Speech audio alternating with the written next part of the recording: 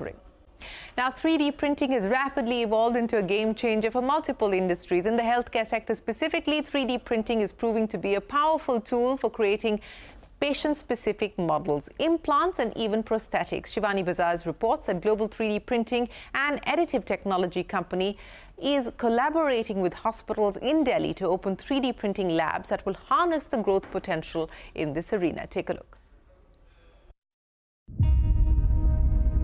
This machine is printing a 3D heart, which doctors can use to practice mock surgeries and complex procedures before moving on to the real thing. This cutting edge technology is proving to be a boon for the healthcare community globally, allowing for the creation of patient specific models, implants, and even prosthetics. American Israeli firm Stratasys, a pioneer in this field, has set up a specialty 3D printing lab at Delhi's Akash Multi Specialty Hospital.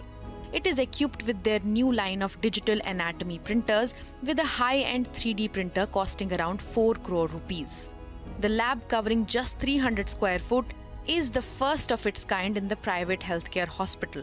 While other hospitals like AIIMS and some teaching medical institutions have 3D printing facilities, they do not have the modern digital anatomy printers as of now. Stratasys hopes that this will spur innovation and skilling in Indian medicine and give Indian healthcare capabilities a big leg up.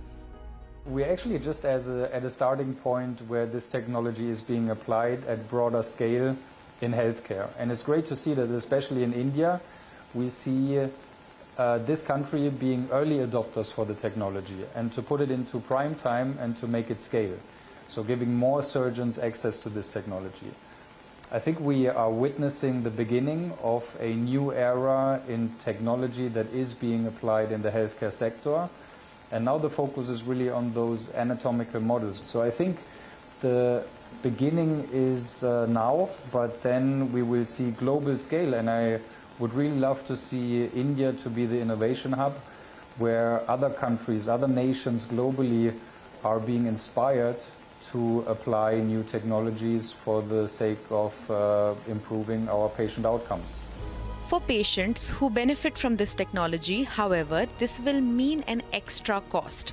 But medical experts believe this cost will even out and could even fall once the technology picks up.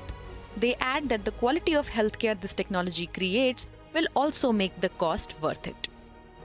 Well, Stratasys says that the lab will not only enhance the accuracy of surgical procedures, but will also empower doctors to make better informed decisions, resulting in fewer complications and shorter recovery time. It could also revolutionize the way implants and prosthetics are made, reducing long-term costs, improving customization, and eventually enhancing patients' quality of life. In New Delhi, this is Shivani Bazaz.